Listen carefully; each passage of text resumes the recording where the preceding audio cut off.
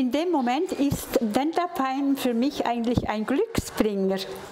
Ja, weil ich habe ja, es geht nicht nur um meine Schönheit mit meinen Zähnen, sondern auch meine großen Probleme. Und es sieht so aus, als ob mir die Probleme nun jetzt gelöst sind. Somit also ein Glücksbringer.